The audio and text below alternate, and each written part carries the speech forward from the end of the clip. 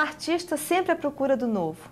Exercitando o encanto da forma, Lígia Pape explora o cotidiano de maneira nova e inventiva. Expõe esculturas, gravuras e o livro da criação, Lígia Pape se apresenta na Galeria Thomas Com.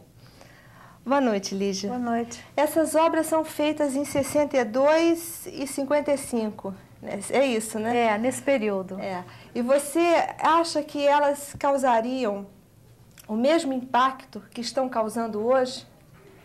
Bom, hoje elas estão olhando, sendo olhadas com muita simpatia, porque o olho está mais sábio. E na época teria sido uma guerra, eu acredito, porque a maioria dos artistas era figurativo e nós começamos a trabalhar como grupo, começamos a trabalhar com formas com abstração geométrica. E isso era o que defendia a gente era exatamente participar de um grupo, que a gente um ajudava o outro num certo sentido, né? E você, ela, você expunha com, com o conjunto, você é. nunca se apresentava sozinha? Não, não, ninguém, a maioria não se apresentava, quase todos não se apresentavam sozinhos. Se, eram poucos trabalhos em cada vez de exposição, porque o grupo não, não, não permitia uma, uma, quantidade muito grande. É a primeira vez que eu apresento um conjunto meu, individual, do que participou do, do que foi o grupo, né? Diz, o que é o livro da criação? O que, que é essa imagem para a palavra? O livro da criação você pode dizer que é uma escultura, pode dizer que é um poema, porque são uma série de unidades que você, onde eu narro a criação do mundo sem palavras, quer dizer, são formas e cores que você vai armando as unidades e a partir daí você vai narrando ou vai lendo entre aspas a história da criação do mundo. E as teias e as, as gravuras são xilogravuras? São, são xilogravuras, chamam-se tesselares. Também são mais ou menos da 55, 56 até 59, eu andei trabalhando nisso. Você tem uma diversificação muito grande, né, Liz? Você acha que isso é importante para o artista? Bom, para mim, pessoalmente, é fundamental, porque eu não conseguiria viver trabalhando só numa coisa.